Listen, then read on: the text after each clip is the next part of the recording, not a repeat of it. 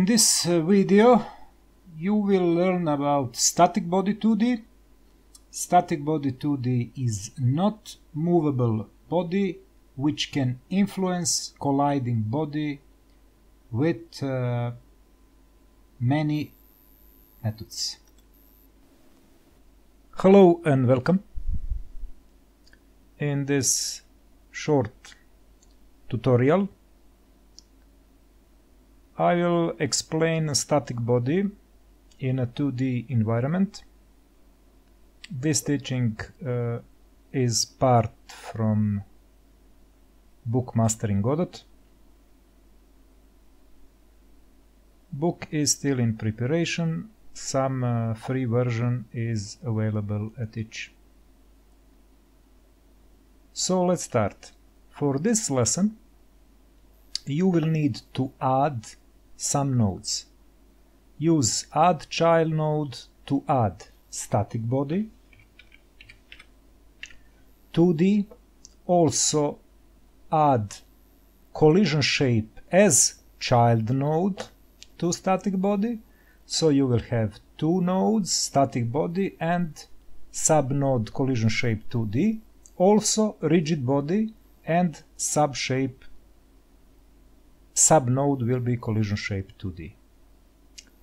Shape for static body, set rectangular shape, and for rigid body, set uh, circular shape and put this object somewhere in a upper left part of the screen, like here. And now let's go to coding. With dollar sign, you can access any element in your node list. For example, we can uh, access our root node, rigid body node, rigid body collision shape node, static body node, etc. etc. And uh, we will uh, use uh, one property, set constant linear velocity for static body. This can be done with coding, like here, or you can use your inspector window and uh, set collision uh, constant linear velocity here.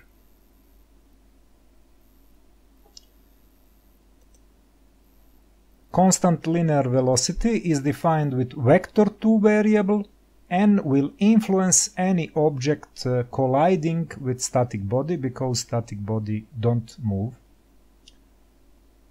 in our situation, vector 2 have uh, two parameter uh, which will influence uh, rigid body because the rigid body will collide with a static body. Uh, I will show you uh, shortly. First, let me just set this as comment and here you can see that our static body is slowly moving because I set uh, low parameters 99 and now you see this movement.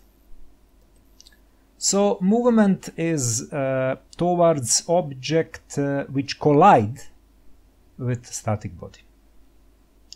You can uh, also mm, uh, set some other properties. Here uh, static body have position set and uh, as you see here our static body is somewhere down on the screen here.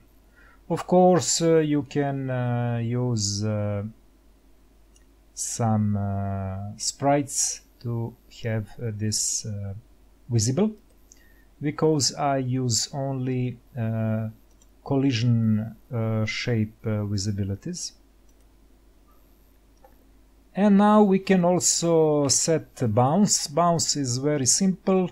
Influence um, your uh, colliding object uh, with property from 0 towards 1. And let's see, this is bounce set to 1, so you have bouncing bouncing of this element.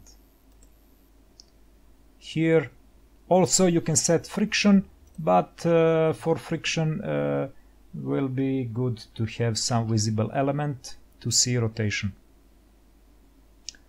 With uh, static uh, body you can set uh, position using set position property. Also for collision shape you can set shape with this uh, method. So static body collision shape 2D dot shape. For uh, this part you only need uh, this dollar sign and you can uh, pick uh, what you want and after that you are adding methods over it for example shape as you see here and after that you can define some other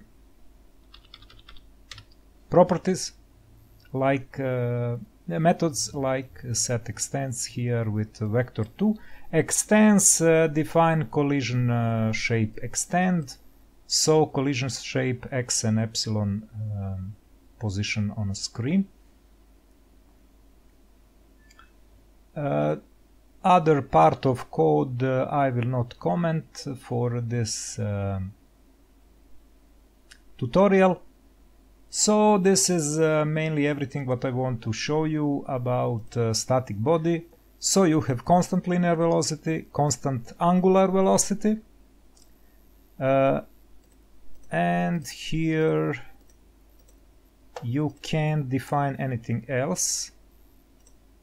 But as I say before with code you can define, define you can define bounce so constant linear velocity constant angular velocity you can define friction uh, which will influence rotation of the object and you can uh, influence bounce with the set bounce uh, in version in version 3.1 uh, this is possible Thank you for watching and uh, we can see each other in some other video tutorial. Goodbye.